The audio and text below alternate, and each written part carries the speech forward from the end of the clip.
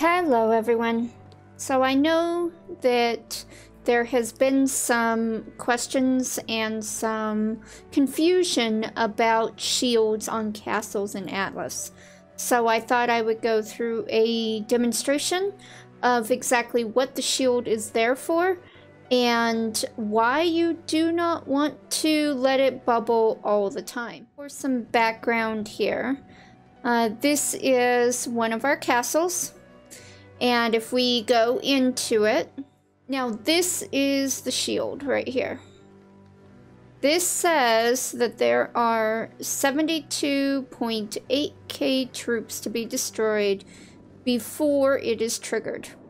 This is what we mean by bubble. If it is triggered, it will bubble, it will put the shield up.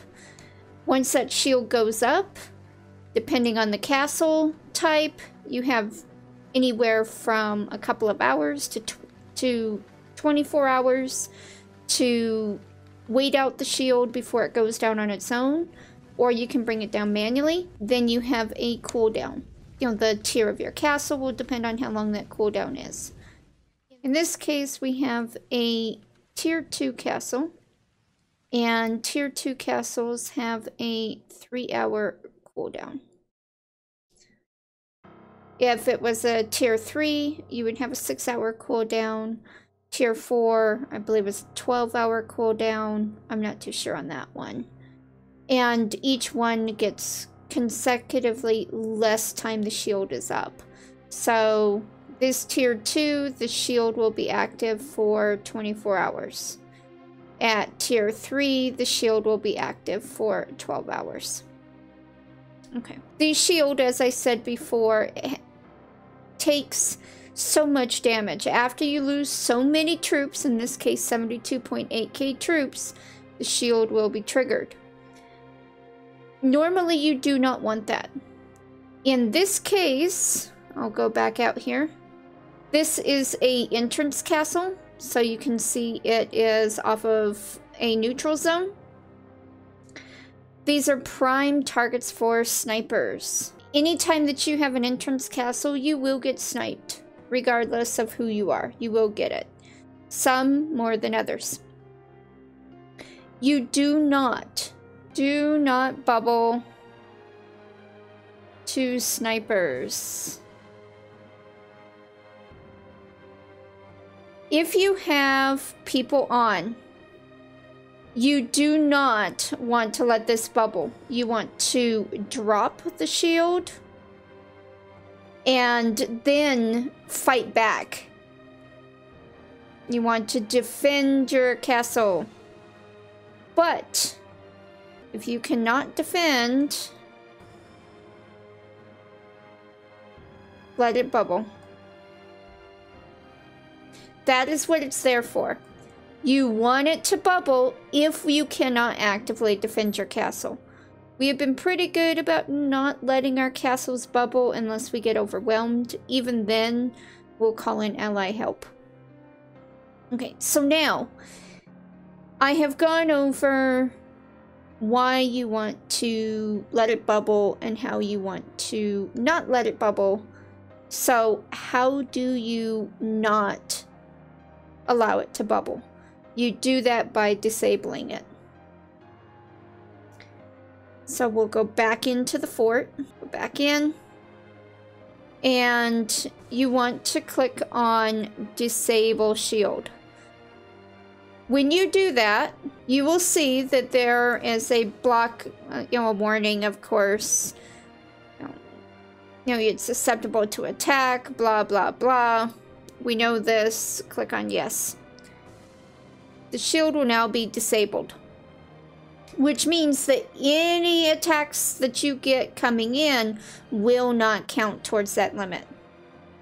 To demonstrate this, I have set up a set of attack just to illustrate why you want to do this. So first of all, I'm going to re-enable the shield. If you're not in cooldown, you can enable and disable as much as you want. Let's make note of this. We have 72.8k troops until bubble. There they are. There we go. So I was attacked, I earned glory. So now let's go look at the shield. Go back into the fort. You notice now that it's gone down. Now we're at 70.4k troops. So, once we lose as a team 74.k troops or guards, then the shield will activate and we will be bubbled. So let's go ahead and disable the shield. There she is. I asked her to hit me one more time.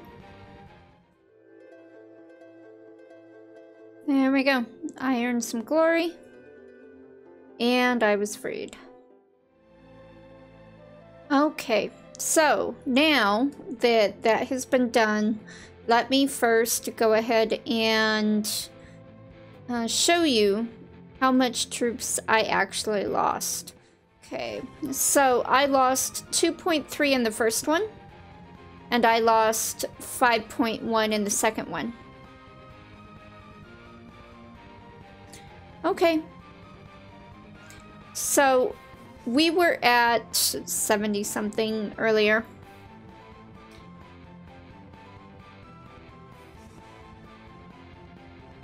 Mm. With the shield disabled, when I re-enable the shield, you will notice the amount stayed the same. We still have 70.5k troops to go. So by disabling the shield, we stopped the bubble.